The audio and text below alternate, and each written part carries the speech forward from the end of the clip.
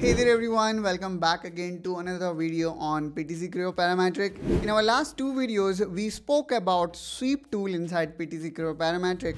We saw how we can perform sweep along constant section.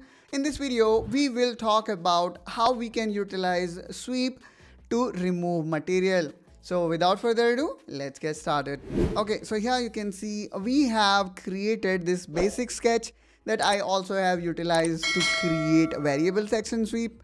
And let me actually, you know, choose sweep command and let's create a simple sweep here.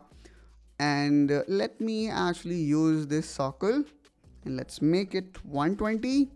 And now let's hit OK. And then there we go. Here we can see we have completed this sweep. Now at the same time, I also would like to remove material from it.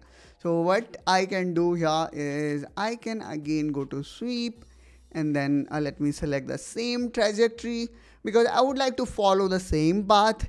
And then here again I can click on section and then um, let me add palette so that it looks interesting not the boring circle that I kept on using. So let's click here on palette. And now here I would like to go with um, maybe stars. Let's go with six tip star and let's keep this star at the center. And let's also make radius as 5 and let's hit ok. Now let's click ok again. And this time instead of adding material I'm gonna click on remove material. And there we go guys.